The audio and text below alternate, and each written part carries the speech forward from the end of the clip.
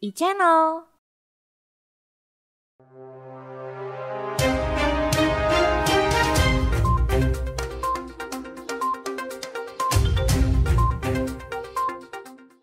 Gubernur Jawa Barat Ridwan Kamil mengusulkan pembentukan Kabupaten Bogor Timur dan Indramayu Barat.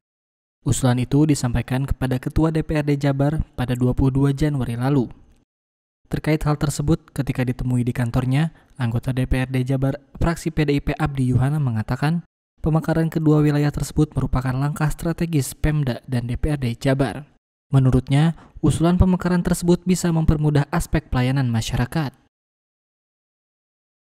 tidak representatifnya kabupaten kota, ya, ada beberapa aspek yang berpengaruh.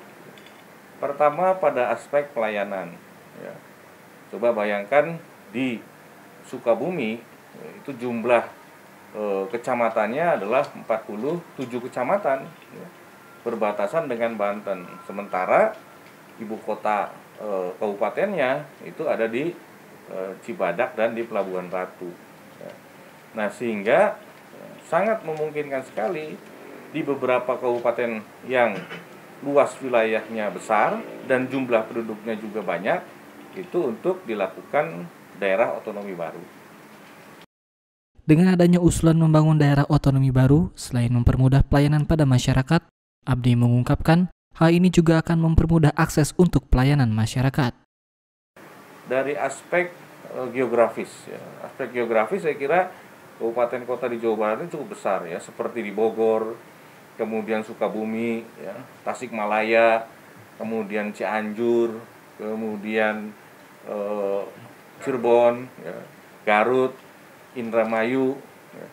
nah sehingga untuk memudahkan akses, as, apa, akses ya pelayanan e, masyarakat untuk datang ke ibu kota kabupaten ya, saya kira e, perlu untuk dilakukan apa, daerah otonomi baru.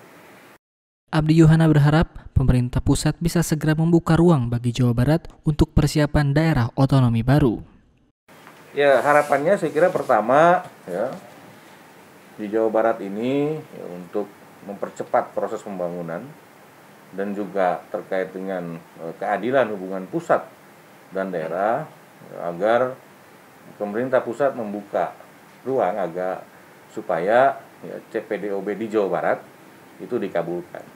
Ya, untuk Bogor Barat, Garut Selatan, Sukabumi Utara, lalu kemudian menyusul Indramayu Barat dan e, Bogor e, Timur. Ya. Adi Fahmi, Fajar Irianto, e-Channel melaporkan.